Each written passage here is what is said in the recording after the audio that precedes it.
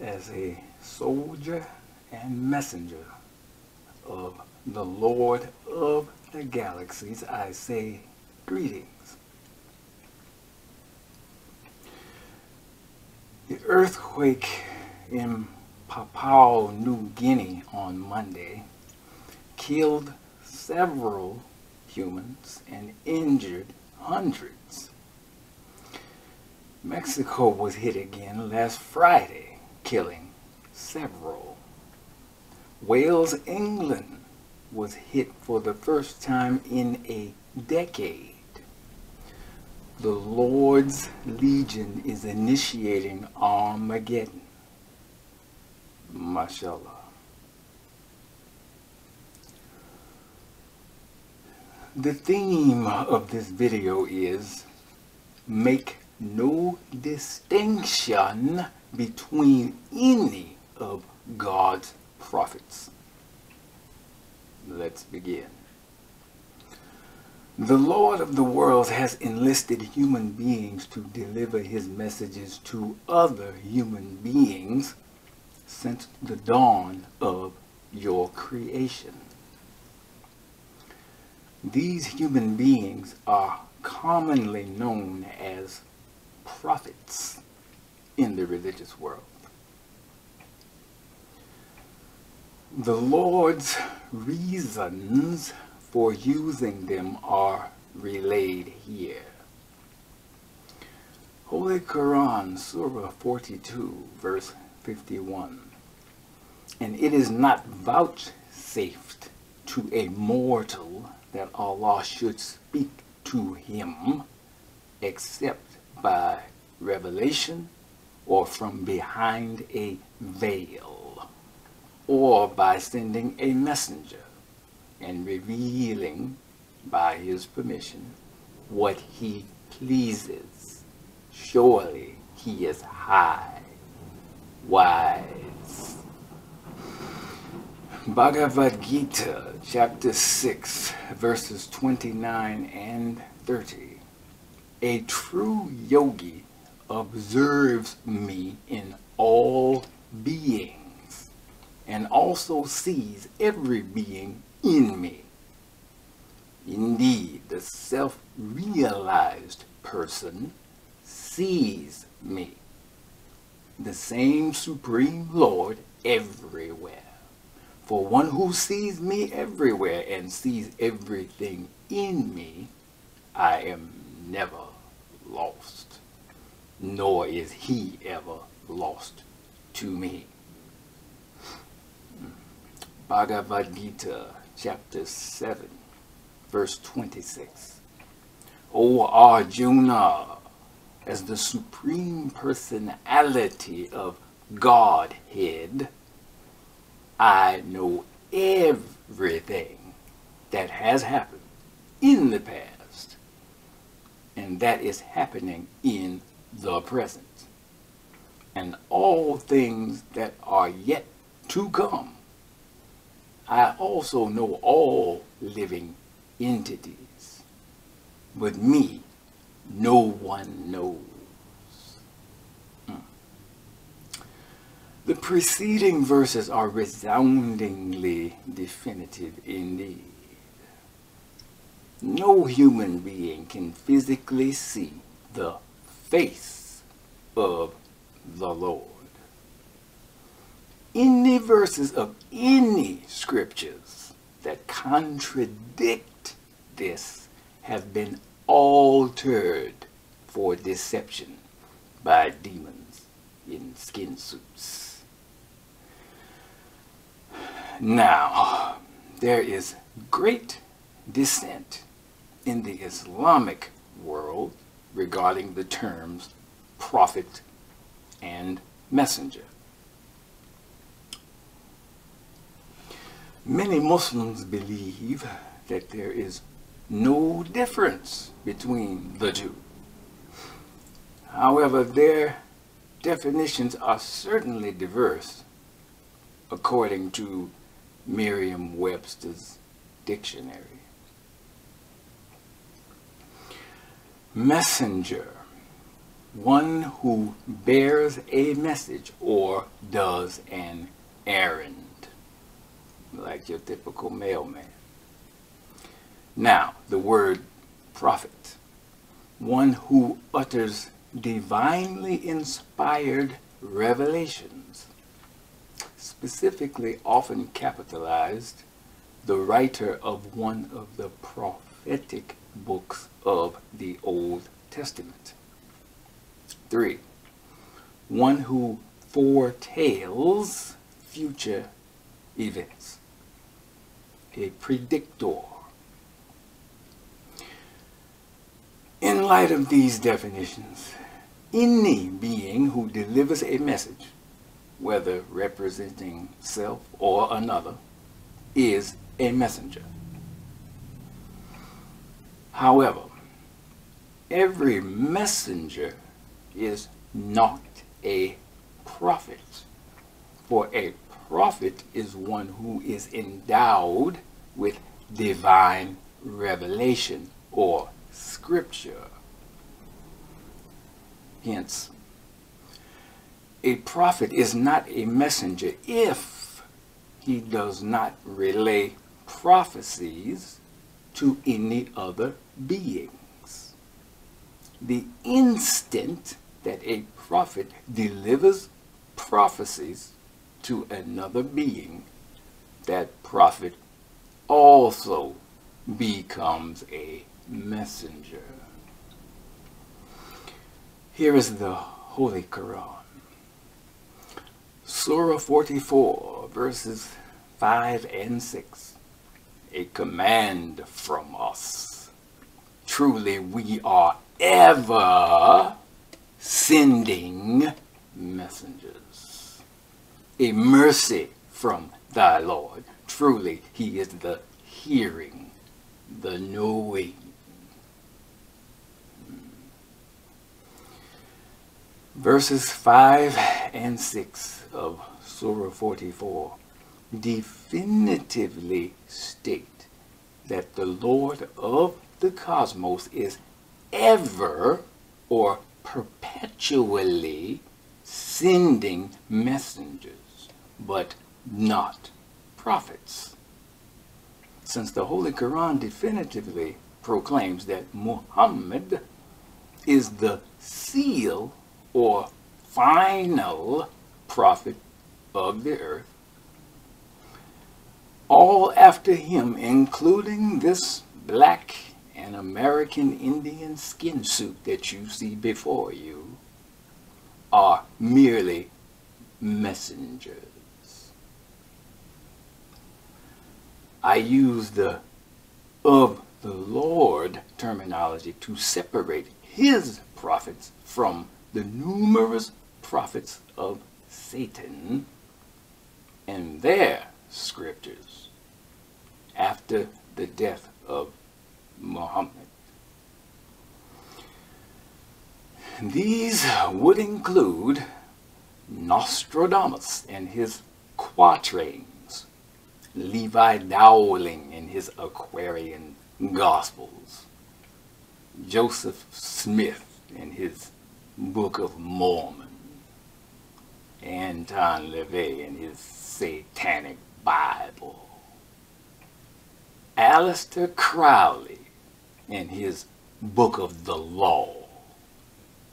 Abdul Alhazred in his Necronomicon. Edgar Cayce in his Modern Prophets.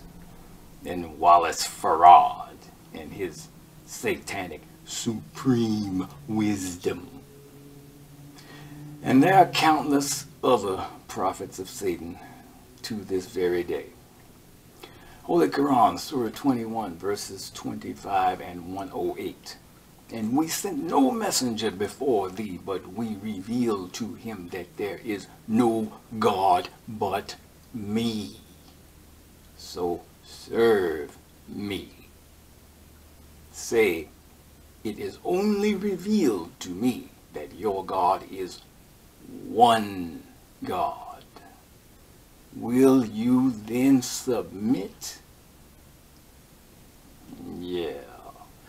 Muhammad was made aware of many prophets of the Lord before himself, who taught of the one and only God.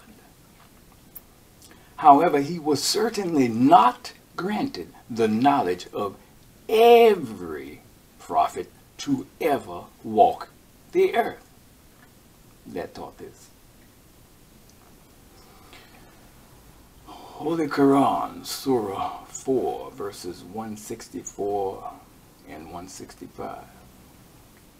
And we sent messengers we have mentioned to thee before, and messengers we have not mentioned to thee. And to Moses, Allah addressed his word speaking to him.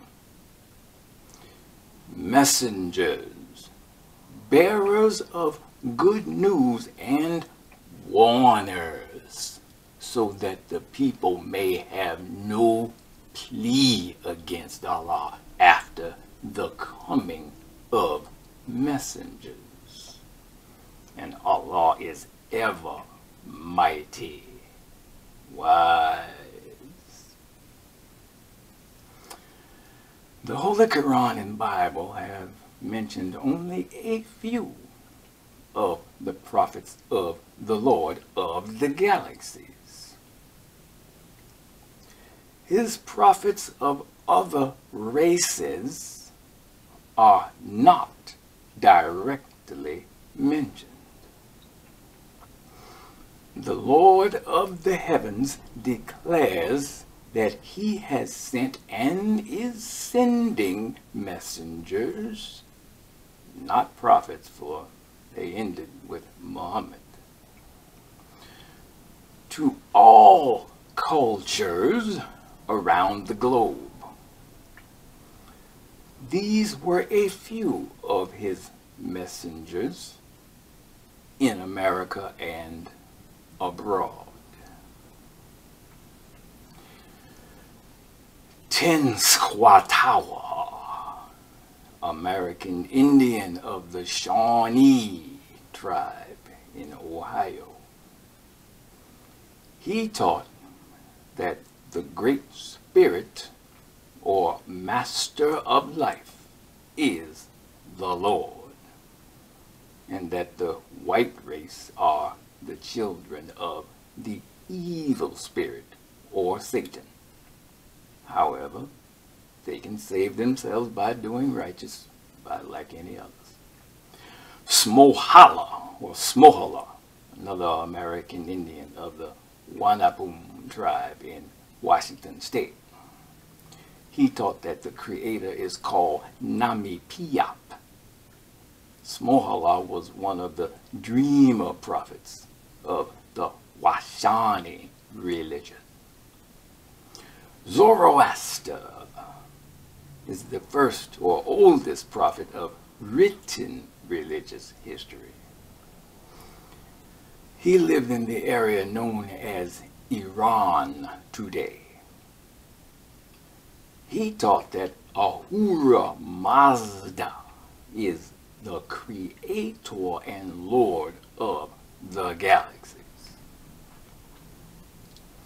Siddhartha Gautama Buddha lived in Nepal. He taught that Brahman is the creator and lord of the galaxies. Arjuna lived in India. He taught that Krishna is the Lord and creator of the galaxies. Lao Tzu lived in China. He is the author of the Tao Te Ching and founder of Taoism. He taught that Hong Jun Lao Tzu is the creator and lord of the galaxies. Yeah.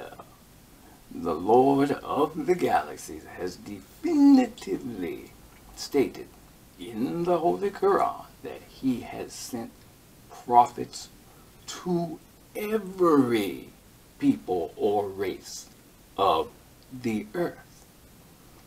And that he is constantly sending messengers to whom he pleases. So, this is what every race and subculture should be relaying to each other. Holy Quran, Surah 3, verse 84. Say, we believe in Allah and that which is revealed to us, and that which was revealed to Abraham, and Ishmael, and Isaac, and Jacob, and the tribes, and that which was given to Moses, and Jesus, and to the prophets from their Lord. The most important uh, of the verse. We make no distinction between any of them, and to him we submit. Yeah. In closing, there is one single God who delivered the same single message to every race in their own language. You humans have altered or edited the messages of your prophets after their deaths. A devout believer should make no distinction or elevation between any of the Lord's prophets. A mere believer is allowed to favor a particular prophet, but not elevate that prophet above the others. So Jesus is no greater than Muhammad. Muhammad is no greater than David. Arjuna is no greater than Buddha, and so on. Your species must mature from infantile infighting over who has the greater or greatest prophet. All of the Lord's prophets are living in bliss in the afterlife for all eternity indeed.